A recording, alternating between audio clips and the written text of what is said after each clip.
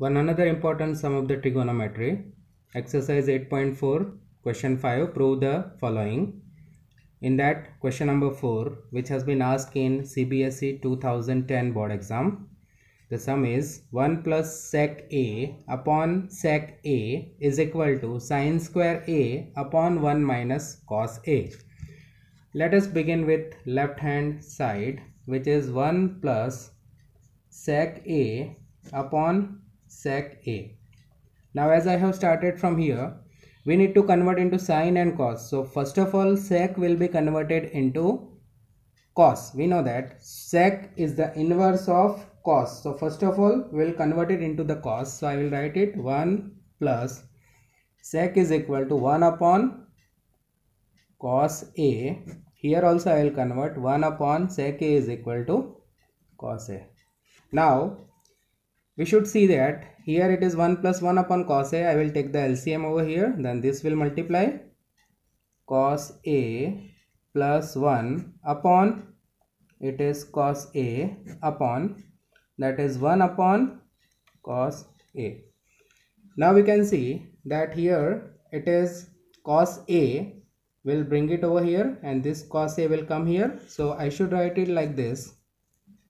Cos a plus 1 this denominator's denominator will be goes in numerator and this will comes in the denominator. So it is cos a plus 1 into cos a upon this is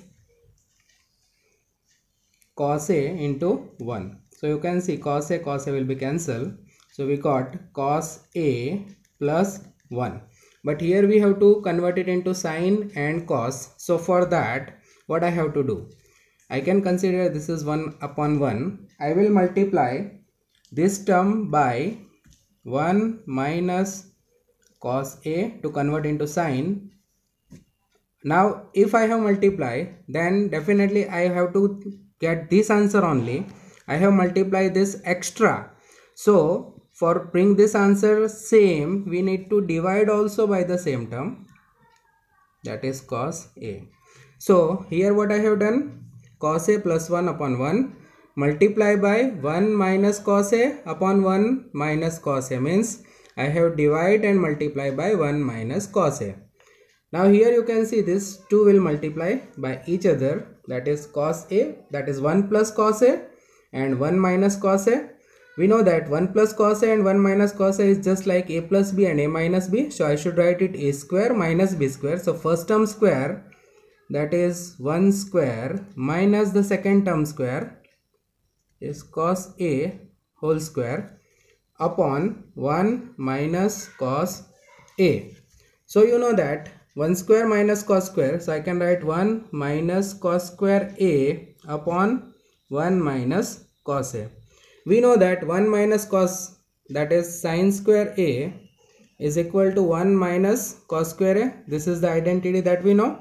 So 1 minus cos square a I can keep the value sine square a. So instead of this I can keep this value that is equal to sine square a upon 1 minus cos a which we have to prove here sine square a upon 1 minus cos a. So here it is sine square a upon 1 minus cos a which is equal to right hand side. So we can say LHS is equal to RHS. Hence you have to write it 1 plus sec A upon sec A is equal to sine square A upon 1 minus cos A.